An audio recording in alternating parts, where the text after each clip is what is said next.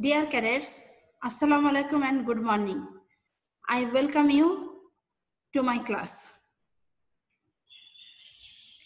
I am Shafina Rahat. I am an assistant professor in English of Borikhel Cadet College. Today I am going to conduct a class in class 12. The subject is English second paper and the topic is narration. Learning outcomes. After the end of the cadets, end of the session, cadets will be able to know what narration is, learn the rules of narration, change into indirect speech from direct one, and vice versa. Cadets, first of all, you have to know what narration is. What the speaker says is called narration. Narration is of two parts. Direct narration, indirect narration. Cadets, when the speaker's speech is stated without any change is called direct narration and when speaker's speech is changed and stated indirect in indirect style is called indirect narration. See the example here. First one is the example of direct narration and second one is the example of indirect narration. Sania said, I shall go home today.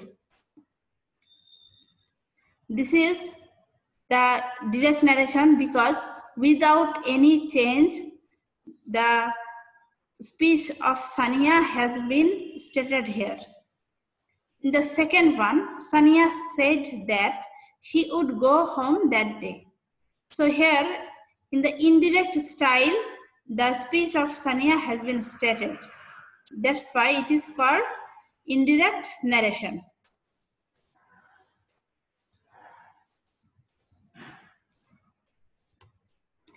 Cadets, it is very necessary to know the different part of narration. Cadets, here you see, Sania said. This said is called reporting verb. Then, here, cadet, you see, Sania said to Shazma, I am ill. This I am ill in the inverted comma is called reported speech. Sania is the subject of the reporting verb and Shazma is the subject object of reporting verb.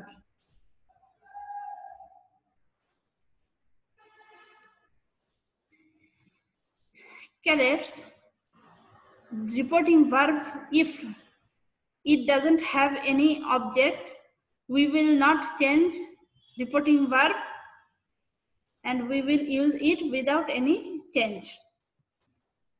See the example. He said, I will go home soon. Here cadets, this reporting verb said doesn't have any object. That's why we will not change this reporting verb. He said that he would go home soon. But if reporting verb has subject, object, then it will be changed into, said will be changed into told and says will be changed into tells. He said to me, I will go home soon. Here correct you see, said reporting verb has an object. That's why it will be changed into told. He told me that he would go home soon.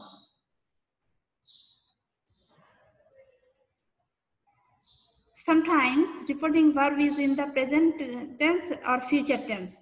For these cases, we will not change the tense in the reported speech. See the example. Joya says, I have done the sum. Here cadets,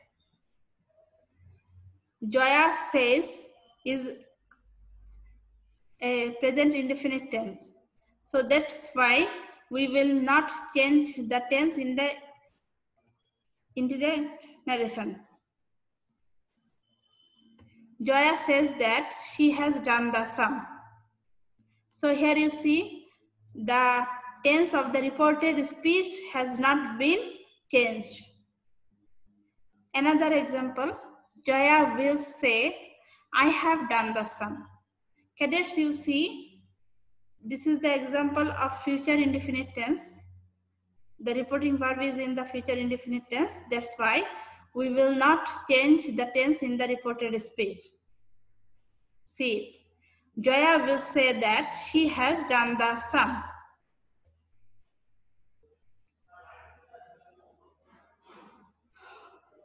But if reporting verb is in the past indefinite tense, the tense of the reported speech will be changed according to the rule. You see, she, she said to me, she has done the sum. Here, said is an is a past indefinite tense. So that's why we will change the tense in the reported speech. See the example? She told me that she had done the sum. So here, present perfect tense in the reported speech has been changed into past perfect tense in the indirect narration.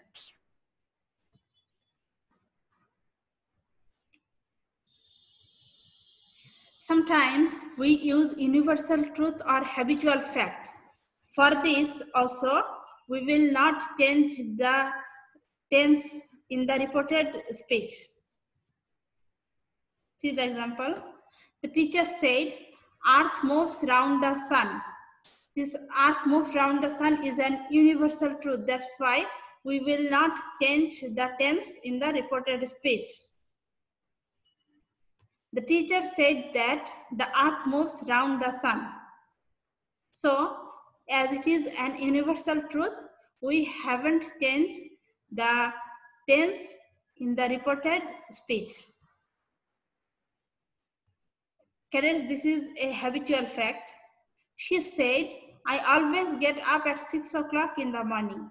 That is, it is our habit to get up at 6 o'clock in the morning. As it is a habitual fact, again, we will not change the tense in the reported speech. See the example. She said that she always gets up at 6 o'clock in the morning. There are some modal auxiliaries and uh, you should follow it in order to make it in use it in the indirect narration. Have a look at the slide.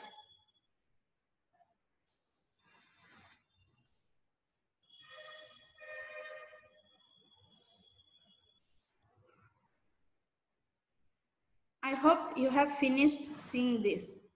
See this one now. This is also the modal auxiliaries and uh, the way we use it in the indirect it is given here.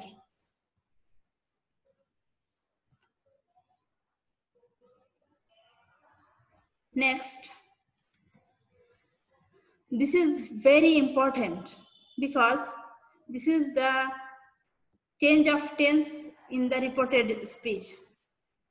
Cadets, if the reported speech tense is present indefinite tense, it will be changed into past indefinite tense. Present continuous will change into past continuous tense. Present perfect will be changed into past perfect. Present perfect continuous will be changed into past perfect continuous. Past indefinite will be changed into past perfect past continuous will be changed into past perfect continuous. Past perfect will not change. Future will be changed into future in the past. This is very important. You should acquire it.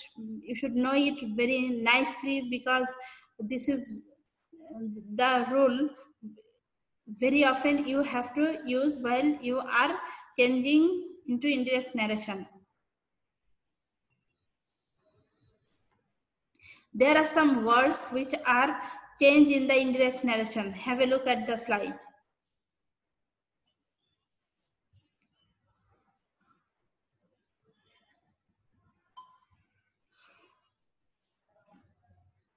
Next one, some more words, the rules of changing it into indirect narration.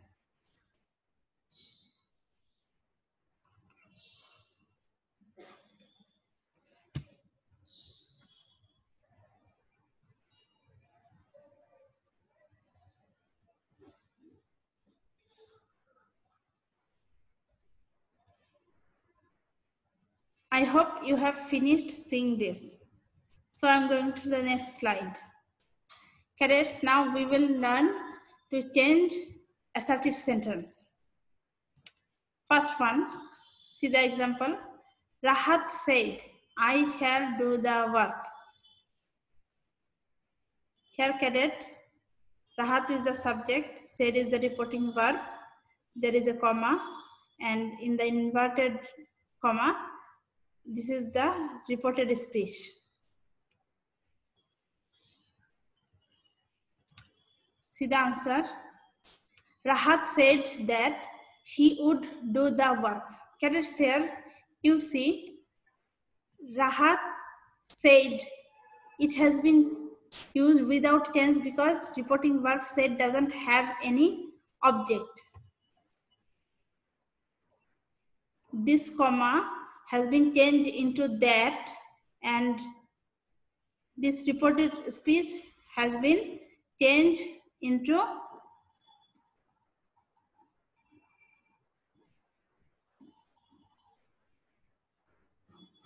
see Rahat said that she would do the work. Here it is future in the past Mina said to me she will go to Dhaka. Here cadets, there is a there is an object in the reported reporting verb. So that's why it will be changed into told. Mina told me that she would go to Dhaka. Again, said is in the past indefinite tense. That's why she will go to Dhaka this future tense has changed into future in the past in the indirect narration.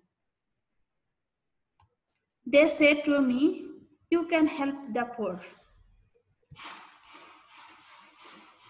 They tell me that I can help the poor. Here also cadets reporting verb, this reporting verb has an object. That's why it has been changed into tell this comma has been changed into that. And you can help the poor. As it is an example of present tense reporting verb is in the present tense the tense in the reported speech will not be changed. That's why it is they tell me that i can help the poor